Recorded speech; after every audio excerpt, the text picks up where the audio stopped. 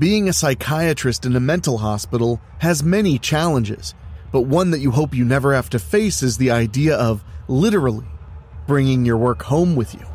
But what happens when that barrier is broken? The sanctity of your home is violated and you are left with nothing but your own electric rage. What's that? You want to be scared? Come with me.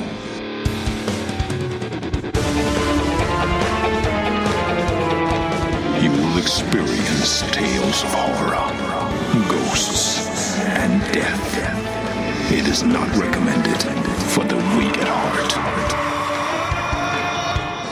Listen in the dark. It's more fun that way. This is Weekly Spooky.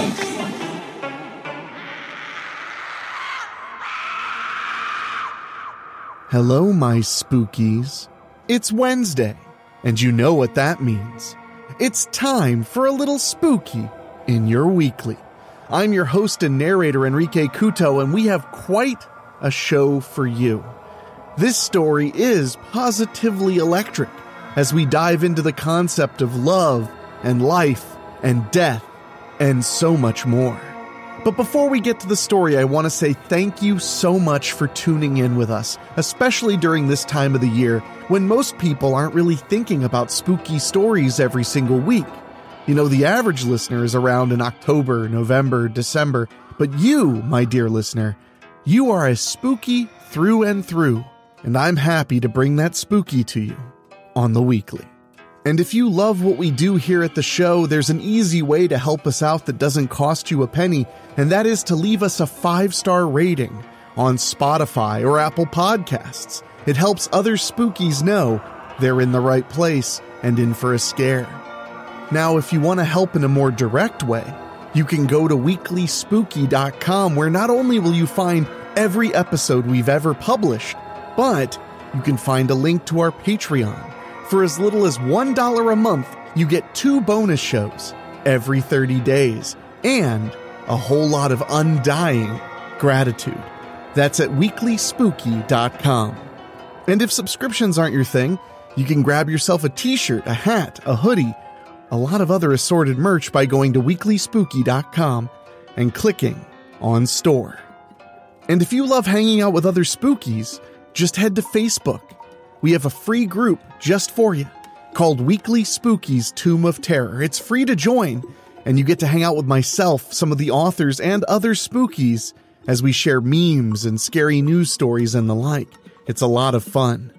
But now, my dear listener, it's about time for this positively electric story after these quick words.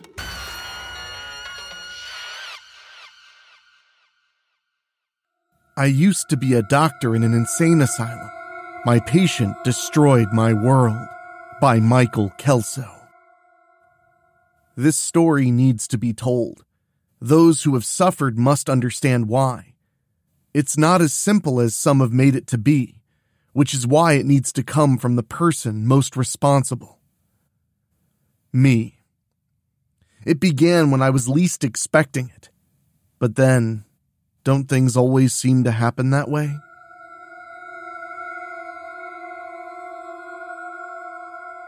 I'm telling you, Doc, people just don't understand, Frederick said while rocking back and forth in the chair.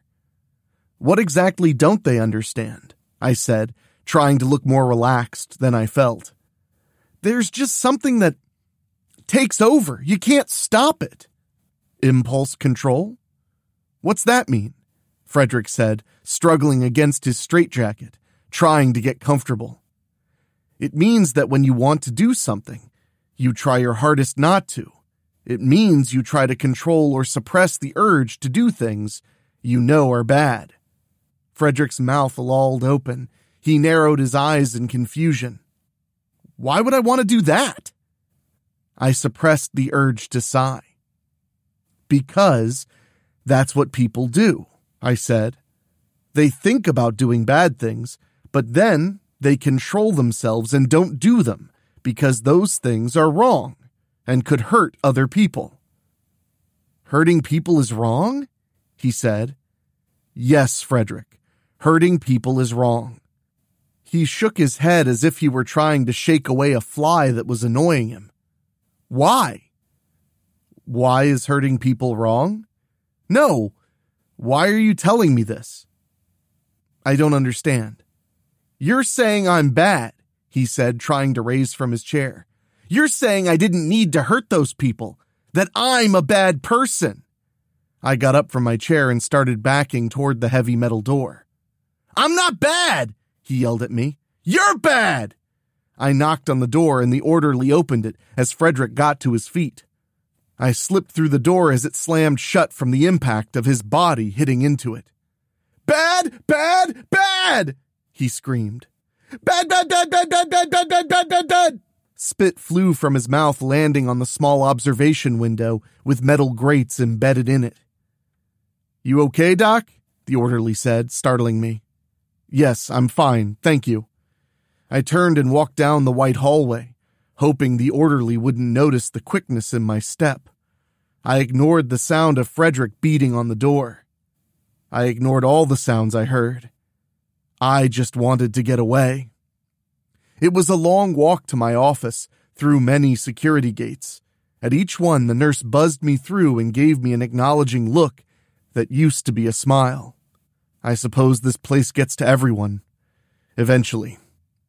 I finally reached my office, closed and locked the door behind me, and collapsed into my chair. I breathed out a sigh of relief at reaching relative safety. I turned and looked out my window to the beautiful flowers blooming on the trees in the courtyard. I looked up at the trees stretching toward the sky. I remember when they planted those. I turned back to my center, my means of solace, the only thing that mattered in this cruel, unfair world. I picked up the picture of my lovely wife and smiled. She was the one who kept me sane all these years.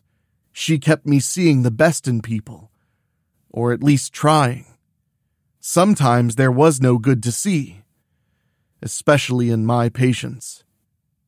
It takes a special kind of doctor to care for the mental needs of those who have done heinous things that are so bad they don't even bother sending them to prison. They send them to me. I'm like the dumpster for the dregs of society, just drop them in the asylum and forget about them. I kissed my wife and set her back on the bare desk, then turned on my computer and added notes from today's session. There was never a recommendation for release. Once patients came here, the only way they left was in a body bag. There was no curing them, only trying to make them docile until they left. Oh, and there were experiments.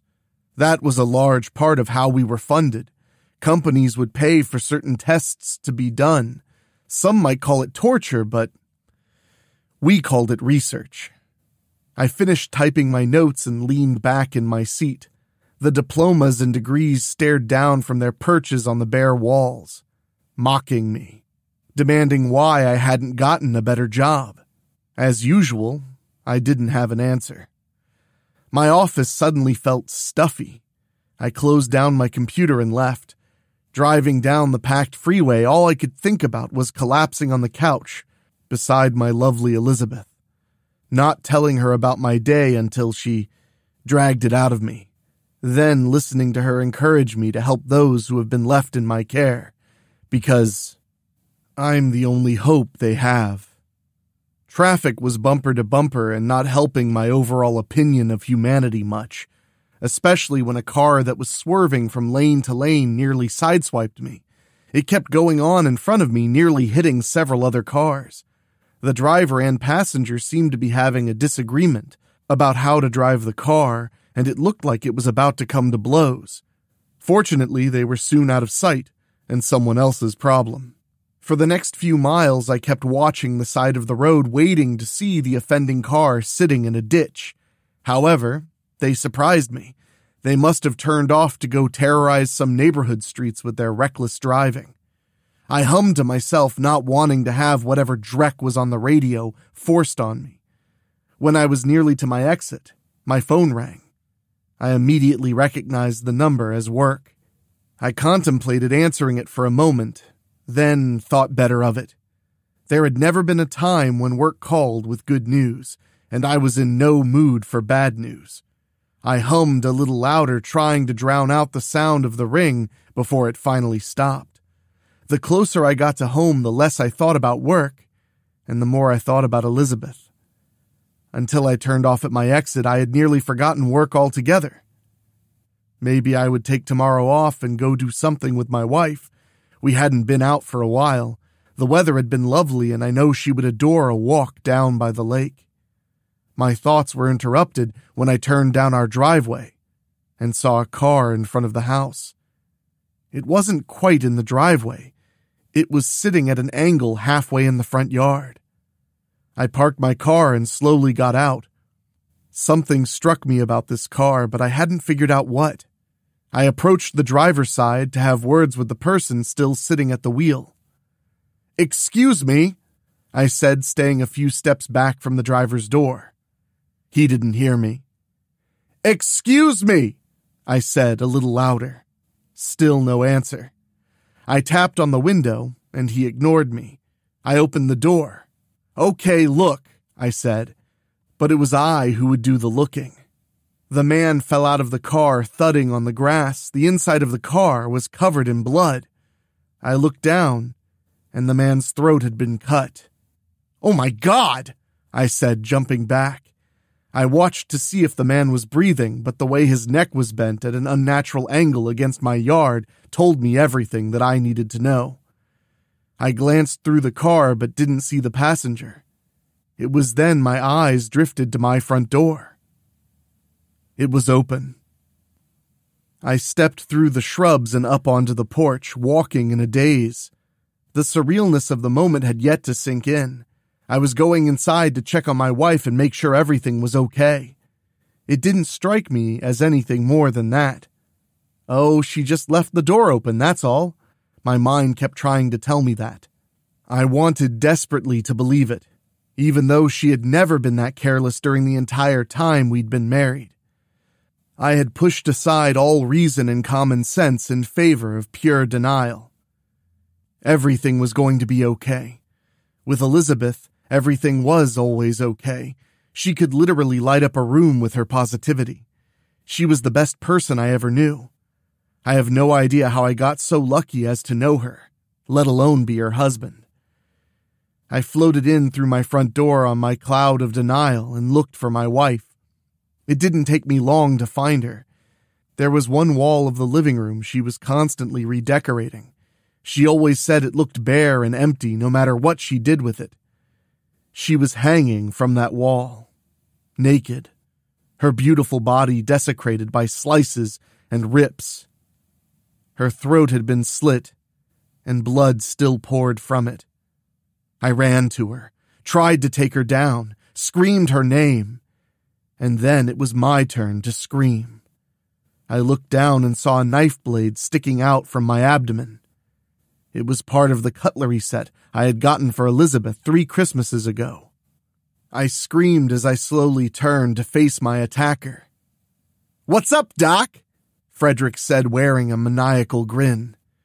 The shock had punched a hole in my reasoning. I saw him standing there, but I couldn't accept it any more than I could accept my beautiful wife strung up like a macabre painting hanging on our living room wall. My eyes tried to focus on his face to make me recognize him as a threat. How's that impulse control working for you, Doc? He ripped the knife out of my back. The pain, along with his arrogance, woke me from my shock induced stupor. Now do you understand? He said as he shoved the knife into my belly. I did understand. I understood at that moment that I was already as dead as my wife. I knew that this piece of human garbage had taken something beautiful from this world. I knew I had to do something about it before there was nothing I could do, before my body succumbed to injuries, and I was unable. I grabbed him by the throat. He tried to laugh, but my grip was fueled by desperation. He tried to free himself, but couldn't. He began stabbing me over and over. I refused to release him. I carried him by his neck over to the kitchen counter and began bashing his head off the marble. I was rewarded with spots of his blood. I knew at least I had made him bleed, and that made me smile. His eyes grew wide as my grin grew maniacal. I smashed him repeatedly, crushing him against the sink, breaking the faucet and causing water to spray into the air.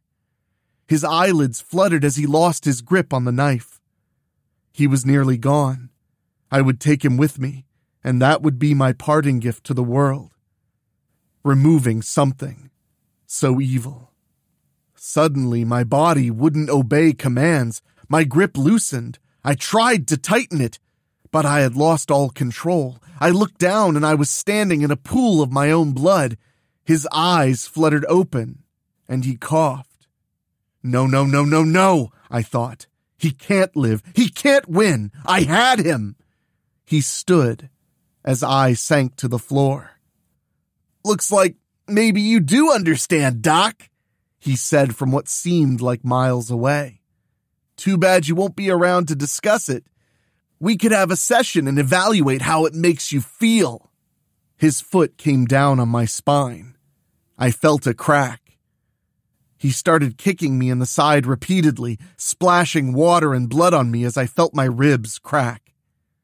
I fought with everything I had. My body didn't even twitch. No! I screamed. It can't end like this! I heard a sizzling sound.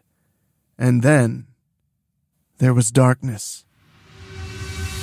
Did you hear that? Better check the locks on your doors. Weekly Spooky will be right back.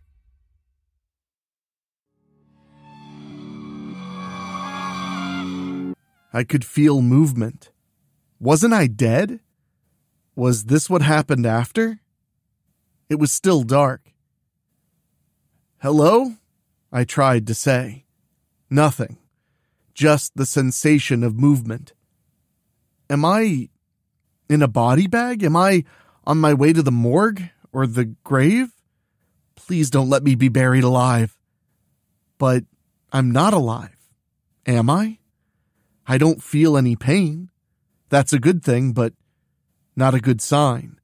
The last thing I remember was lots of pain. Suddenly, there's a light, and my movement stops. I look up from the floor of a house I don't recognize. Where the hell am I? I'm on the floor next to a wall, looking up at an electrical outlet. Nothing around me seems familiar. I try to stand, but it feels weird. It isn't difficult, and there's still no pain. It just carries an odd sensation with it, like my body is just relearning things. Just like when I was a toddler. I teeter back and forth as I rise, but eventually I'm upright. My first few steps are tentative, but after that I gain confidence with each stride. Aside from the strange surroundings, there's a sensation like ants crawling all over me. I pass a bathroom and glance inside. The reflection in the mirror draws me back. I slowly approach it, seeing something unique and terrifying. It looks like someone drew an outline of a human form using a lightning bolt. The electricity shimmers and crackles as it races around the empty form of the being. I wonder if it will hurt me. Not sure if I want to test the limits of my newfound lack of pain. I hesitantly reach for this creature. It reaches for me at the same time. I'm mesmerized by this mutual curiosity. My hand is about to touch the electric pulse shaped like its hand. I tremble with anticipation and fear as we touch. Surprisingly, I don't feel any pain. I don't feel anything except a hard surface. I move my hand back and forth. The creature does the same. I make quicker movements, and so does it. Finally, out of frustration, I reach back and strike at the creature. My hand strikes the hard surface and it splinters. There are now multiple creatures staring back at me. I step back and make a horrible realization. I am the creature. One month later, and police have been unable to find any credible leads in the string of brutal killings that began shortly after the patient escaped from the mental hospital last month. The handsome anchorman stated from behind his desk. They're asking people to call in if they know the whereabouts of Frederick Winston, now known as the Mangler. In other news, the Larson Electric Company has issued a statement that the recent power surges are no cause for alarm. These surges seem to be random in people's homes and certain businesses. An LEC spokesman stated that there appears to be no pattern to the surges and that so far no one has reported them causing any harm. LEC is tracking down the problem and should have it under control soon. The anchorman shifted in his seat and turned to another camera. And on a lighter note, with Halloween months away, it seems that reports of ghosts are on the rise, he said, wearing a half grin. Several area residents have reported what they call a ghost like figure outlined in light visiting them. Reports vary as to the duration and location of the visits, but they do seem to have a few things in common. The visits are usually short. In fact, most people say that if they blink, the figure is gone. No one has reported the ghost doing any harm, and it seems like anyone within close proximity feels a tingling sensation and their hair standing on end. Maybe I should be visited by this ghost instead of my next hairdresser's appointment, the attractive woman anchor said with a laugh. Schedule me a visit too, the male anchor said, smiling. And that's our news for the evening. Good night. Jimmy switched the channel. Give me a break, he said to the TV. Ghosts? Who's playing what? This is some marketing scheme to sell Halloween crap, like that stunt they pulled a few years back with the clowns hanging around the schools to promote that stupid movie. He switched off the TV and rolled over in his bed.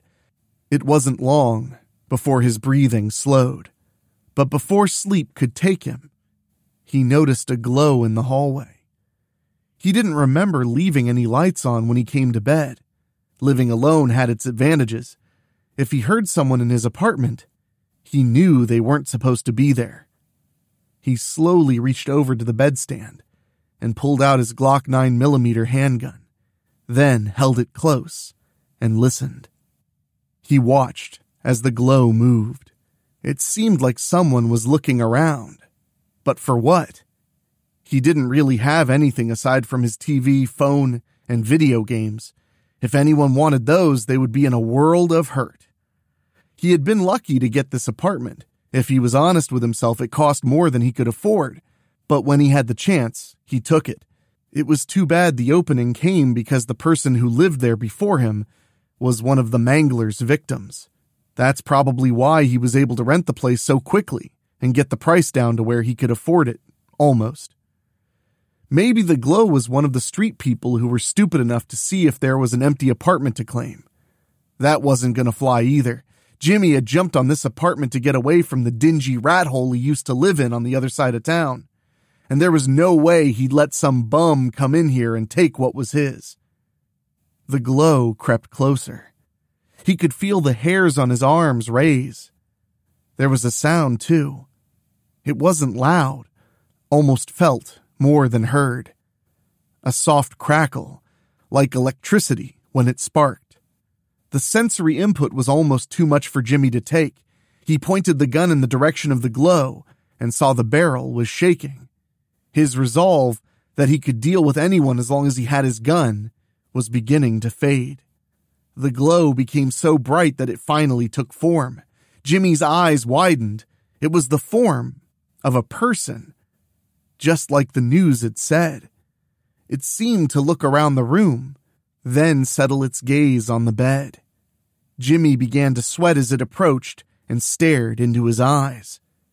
It was the oddest thing, staring into what should be eyes, but nothing was there. The flashes of many lightning bolts formed shapes that looked almost human. But it was just an outline. There was nothing inside what should be the body. He shoved the shaking gun out from under the blanket and pointed it at the glowing figure. The figure noted the presence of the gun, then continued to advance. Stop, Jimmy said. I- I'm warning you. The figure ignored the warning. Jimmy squeezed the trigger, setting off a deafening shot that went right through the face of the figure. It acted as though nothing had happened, continuing to advance. The ringing in Jimmy's ears made all sounds seem muffled. The figure stopped, two inches from Jimmy's face. Mangler, it said, sounding less like a voice and more like a transmission over an old staticky radio. I'm, I'm not the Mangler, he said. The person who used to live here was killed by him. It seemed to ponder this for a moment. Find Mangler, it said. I, I don't know where to find him. It moved an inch closer as the flashes of electricity arced and licked hungrily at Jimmy's face. Find him. Okay, okay, I'll find him, Jimmy said, feeling the heat from the electricity. The figure seemed to consider that for a moment, then backed away. It moved toward the bedroom wall. Then, like someone had turned on a vacuum, it was sucked into an electrical outlet and disappeared. Jimmy laid back in bed, breathing hard. His eyes darted left and right all around the room. But the only evidence of the figure that had remained was the bullet hole in his bedroom wall.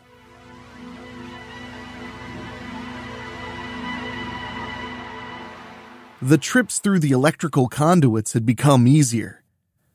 There were still times when I came out someplace I didn't intend to, but I was usually able to recover quickly and get to where I wanted to go. But where did I want to go? At first, I wandered around, lost in this new form I found myself trapped inside. It was only after I had overheard a news report about the serial killer they called the Mangler that I gained my purpose. Of course, Frederick was going to keep on killing.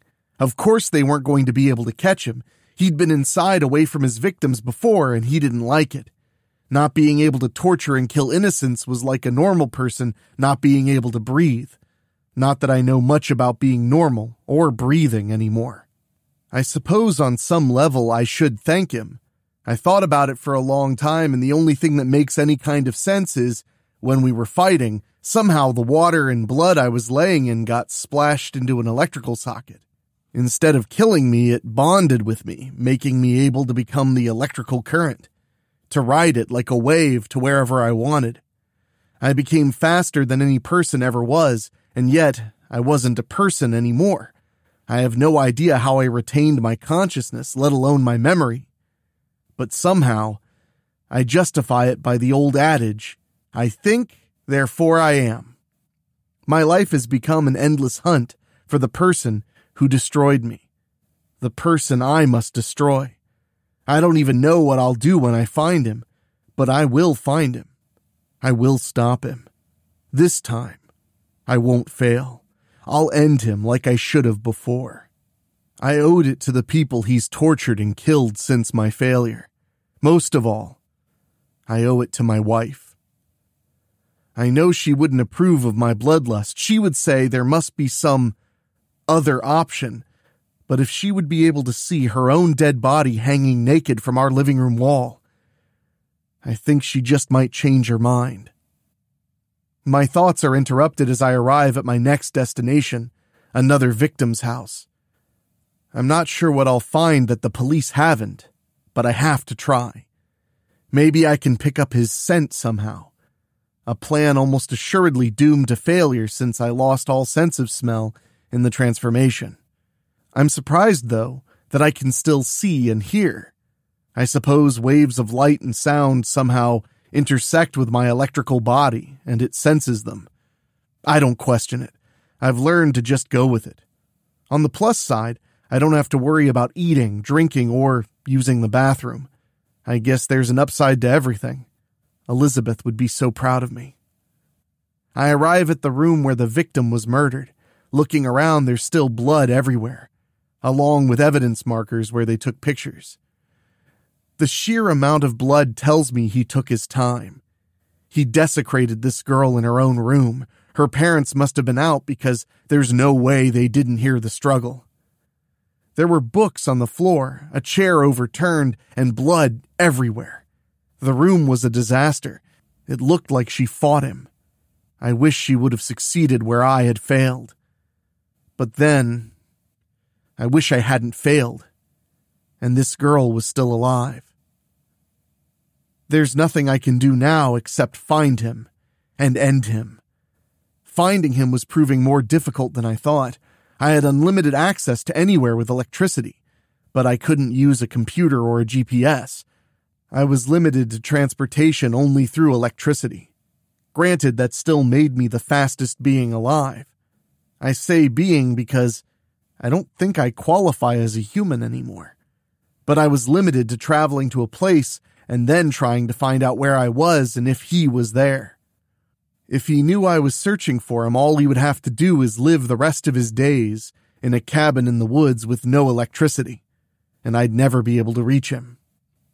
I believe two things worked in my favor with that theory.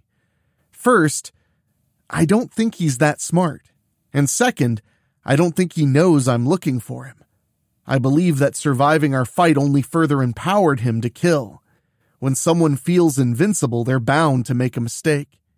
An officer walked into the room and I ducked back into an outlet.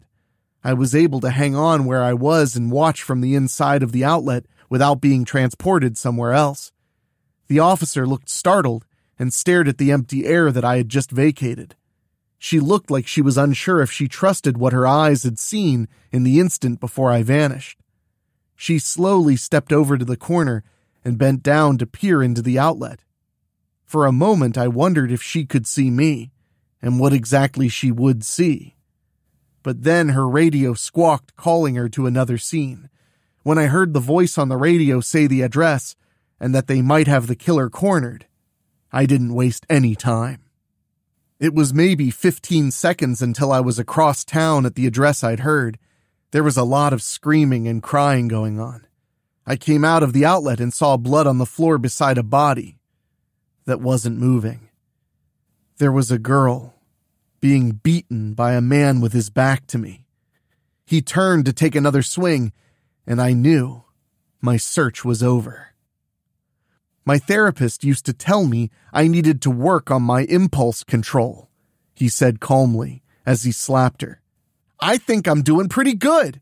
I've been here 10 whole minutes, and you're still alive. I shot across the room and knocked him to the floor. He jumped back and looked around for what had hit him. What the hell? I saw the fear in his eyes when he saw me. I know Elizabeth would have been ashamed of me. But I was enjoying his anxiety. After all he had done to me and so many others, I drank it in like an elixir. He started edging toward the door. I was there in a heartbeat. His eyes darted back and forth where I used to be and where I now stood. The panic in his eyes doubled. I wanted to make him suffer but I didn't want to make the same mistake I'd made before and let him escape with his life. I lashed out with a bolt that used to be my arm. The energy slashed through his shirt and fried a hole in his shoulder. He screamed in pain and horror as he looked at the smoking hole in his skin. He tried to run, but in an instant I was there in front of him, firing another bolt and searing the skin across his waist to his jeans. His screams of pain and rage were only matched by the feral desperation in his eyes. Not knowing what to do, he went with the familiar, attack the innocent. He grabbed the girl who had been crawling away from the scene. He grabbed her again and held her in front of him like a human shield. What a waste of skin. I fired a bolt into a ceiling light beside me, which ricocheted and hit him full force in the leg, nearly severing it. He went down like a ton of bricks, trying to hold on to his hostage, but she was fighting to get away from him. She broke free and he crumpled to the floor. What do you want? He screamed at me. With everything that is within me, I wanted to tell him who I was and what he had taken from me and what I was about to take from him. But I didn't want to give him the satisfaction. I wanted to give him only uncertainty and fear to cling to. I could feel the seconds ticking away. I knew I had to make the most of this opportunity, or he would get away again. And after this, I might never find him. I unleashed every ounce of energy at him. I couldn't even see him. He was only a smoking pillar of frying skin. Just then, the police burst through the door. Freeze! The first officer started then. The shock of what he was seeing stole the rest of the word from his mouth. He stood there, mouth agape, when the female officer stepped in behind him. She looked at me and her wide eyes narrowed as she put two and two together and recognized me from the last crime scene. I had no reason to fear. I didn't know if I could even be harmed in my current state. But when you see that blue uniform burst through a door with a gun aimed at you, all rational thought takes a vacation. I dove for the outlet and was gone. I didn't even care where I was going. I knew I had done what I wanted to. The monster was destroyed. Something felt different. Was it pride at finishing my crusade?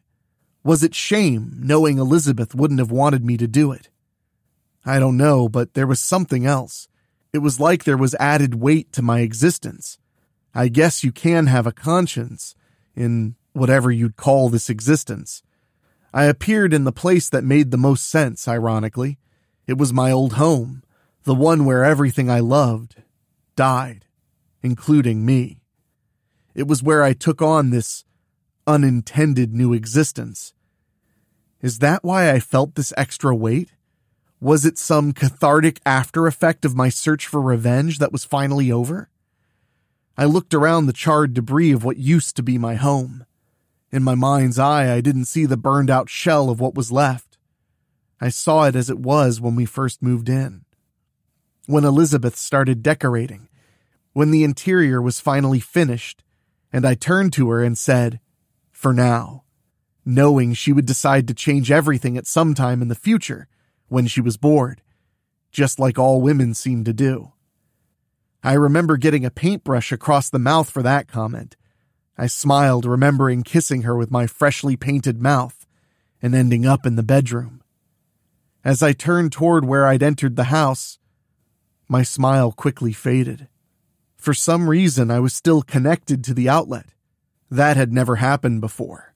Another curiosity arose when I noticed the color of my electrical body was now tinged purple. It had always been blue before. The tail of what had yet to come out of the outlet was red. As I pulled and it came the rest of the way out, it merged with me and turned purple. What the hell? I heard someone say. I whipped around, but no one was there. Where am I? The voice said. Who are you? I said to the air. There was a long silence. Doc? The voice said. As far as I knew, it wasn't possible for my spine to turn to ice since I no longer had a spine, but the feeling seemed the same. Frederick? I said. What happened? he asked. This crazy electric thing attacked me and now. Wait a minute. How am I talking to you? You died months ago. My shock gave way to utter despair. My enemy was now part of me.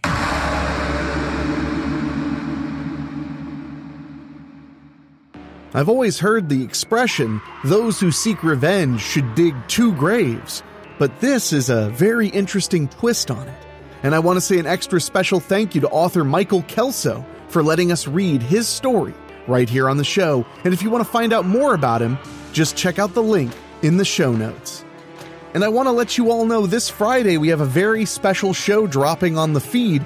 It's from my other podcast, Do You Even Movie? It's our review of one of the most underrated werewolf films of all time, Bad Moon. So make sure to check that out this Friday. If you haven't checked out Do You Even Movie before, this is a nice taste of when we cover horror films and the like. Also worth mentioning, things are heating up over at Patreon. Our 12 part series, The Weekend, is nearing its conclusion you don't want to miss it, so head over to weeklyspooky.com and click on Patreon. For as little as $1 a month, you get two installments of our current Strickfield series every month, and we have another one planned very soon. But this one is all about a group of kids who go camping in an abandoned campground and find that there's vengeance on the menu along with ticks and bug spray. And speaking of Patreon, I want to say an extra special thank you to our Patreon podcast boosters. These are folks who pay just a little bit more to hear their names at the end of the show, and they are Johnny Nix, John Callan, Bobbletopia.com, Jenny Green, Brent McCullough, Karen Weemet, Jack Kerr, and Craig Cohen. If you want to hear your name with their names at the end of every show, just go to weeklyspooky.com, click on Patreon, and choose a tier at $15 a month or higher. It really helps us out. It helps us bring the spooky every single week for over 250 weeks. I couldn't be prouder to say that, but now it's time for me to get out of here and get back to work because we have so much more coming in the weeks to follow. So, for myself, for my producer Dan Wilder, our executive producers Mark Shields and Rob Fields, and our composer Ray Mattis, I will talk at you next time. So, stay electric. Thank you for listening. Make sure to find your way back next week. But for now, you are safe. Trust me.